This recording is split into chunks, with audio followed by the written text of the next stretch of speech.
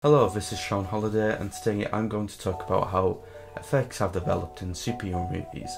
The four movies I'm going to talk about in this video is Batman from 1989, Spider-Man 2 from 2004, in the post 9/11 era, The Dark Knight from 2008, which is around the end of the post 9/11 era, and Spider-Man Far From Home from 2019, which is the current modern age of cinema. So, as I said, we're going to go back through to the 80s first, specifically with Batman 1989. But what was going on with cinema back then? Well, cinema was somewhat successful for a new decade of cinema by carrying on blockbusters from the 70s, science fiction, which was still going strong, with the most famous example being Back to the Future. Fantasy was also going on strong with The Princess Bride, for example, and teen comedies, which were a thing, also grew in the 80s with two famous examples being The Breakfast Club and Ferris Bueller's Day Off.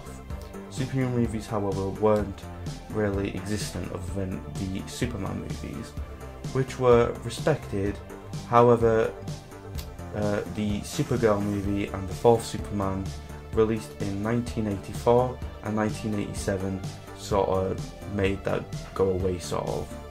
However, Tim Burton turned this around with Batman 1989, which was very heavily acclaimed. But how were the visuals in this film? Well, it's what you would usually expect from an 80s action film. The film was optical composition, matte paintings for backgrounds, and rear screen projection, projection sorry. It also is the type of effects that will go well with Tim Burton's distinct style. However, one thing Burton did that wasn't really expected to be in his effects was the use of blue screen, which was developed in the 1930s but was somewhat heavily used in the 80s and early 90s. This was used to create the shot of Joker falling off the building at the end of the film. Okay, now let's fast forward specifically to 2004, when everything was different in the world. The tragic event of 9-11 changed the world a lot, especially with cinema. Cancelled movies such as Jackie Chan's movie Nosebleed, which had many similarities to the events of the attacks, if you mean set on the World Trade Center, and also other movies such as Zoolander, Men in Black 2, and even well the first Spider-Man movie from 2002. Mention Spider-Man, how was superhero movies back at this time?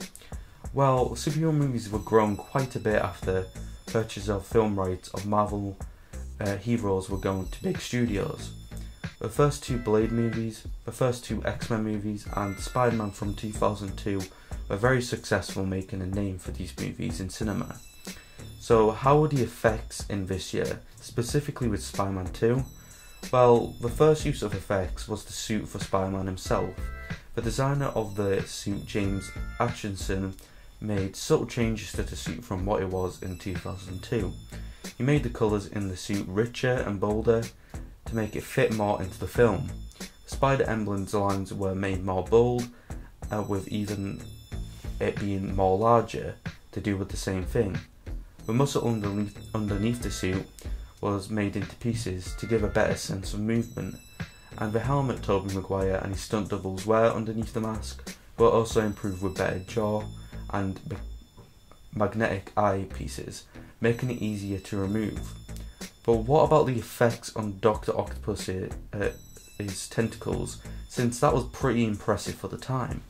Well, to create the character's me- mechanical tentacles, Edge FX were hired to create a corset, a metal and rubber griddle, a rubber spine, and four foam, four foam rubber tentacles that were 8 feet long and it was also £100.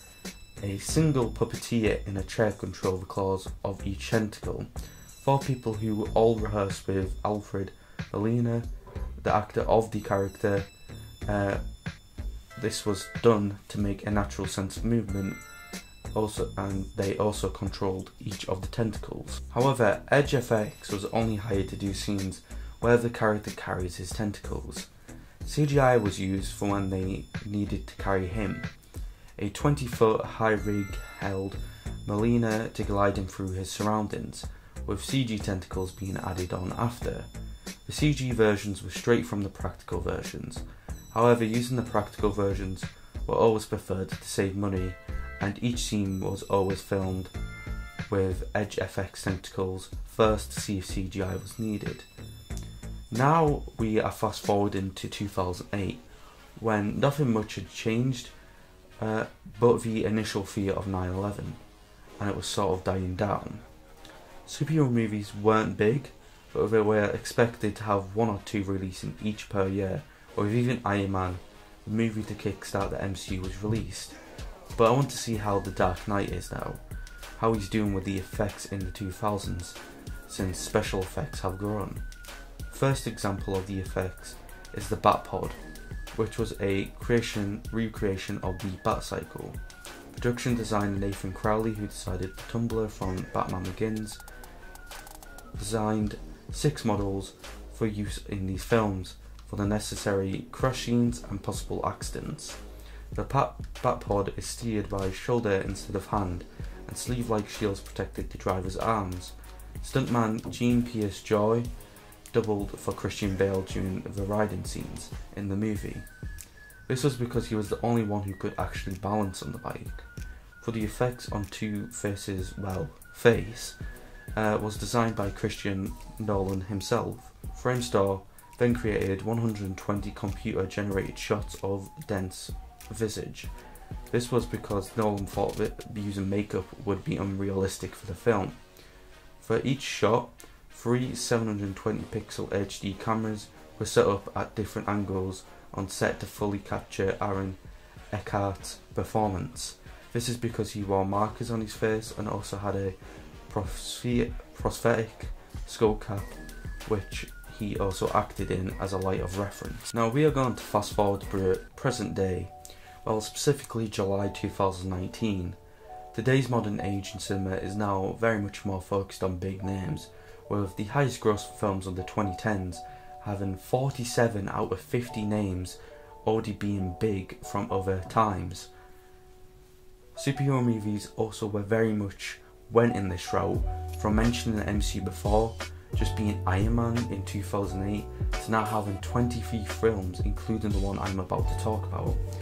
DC attempted this as well with the DCEU and their new name for it, which is called the Worlds of DC, which includes names that don't really go well in the universe but are still DC properties, such as the new Joker movie, that is meant to be quote unquote a step in the right direction for being different.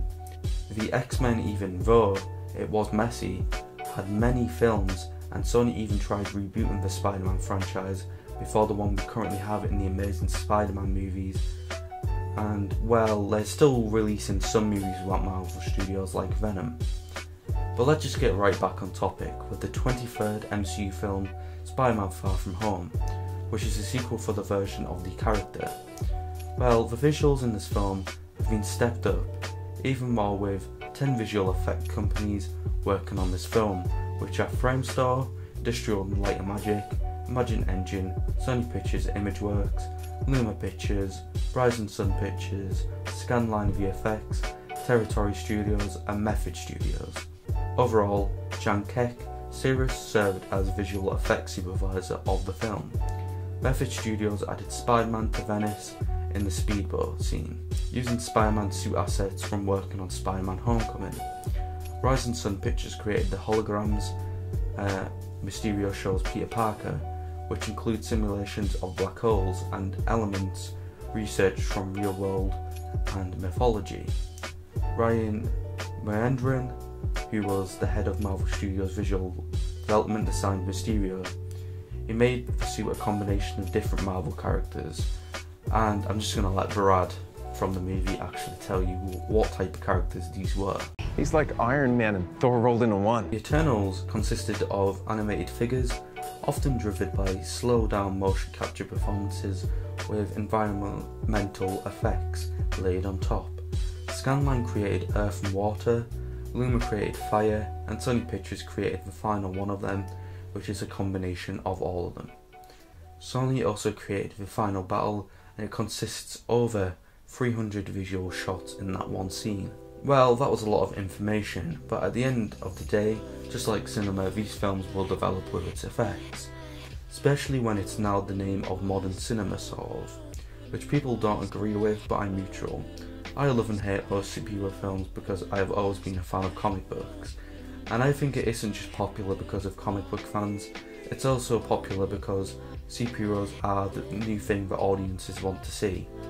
So I think we should have these films, but I do agree we still need more quote unquote original films in cinema. Because I think more people need to give them a chance since it is the thing that invented cinema in the first place. So, yeah, that's all my thoughts on this and all the information about how much effects have grown in superhero movies. So, thank you for watching.